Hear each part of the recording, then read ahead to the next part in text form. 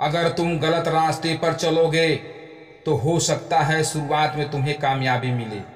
बहुत खुशियाँ, मगर अंत में तुम्हारी हार होगी।